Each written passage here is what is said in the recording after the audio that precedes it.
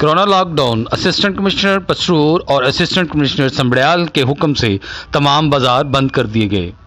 नुमाइंदा city 52 news Yasir Mahmood के मुताबिक एसओपीज पर अमल दरामद न होने के पेश नज़र, एसी समड़ियाल ने दोपहर दो बजे के करीब समड़ियाल के तमाम बाज़ार बंद करने के हुक्म सादर करते हुए तमाम बाज़ार बंद करवा दिए। नुमाइंदा पसरूर जवाद भट्ट के मुताबिक समड़ियाल की तरह एसी पसरूर ने भी पसरूर में बाज़ारों में एस ओ पीज़ पर अमल दरामद न होने की वजह से बाज़ार बंद करवा दिए। पुलिस की नफरी ने अपनी निगरानी में तमाम बाज़ार बंद करवाए। Corona lockdown, assistant commissioner Pasrur और असिस्टेंट कमिश्नर समड़ियाल ने बाज़ारों में एसओपीज पर अमल दरामद ना होने के पेश नज़र तमाम बाज़ार बंद करवा दिए।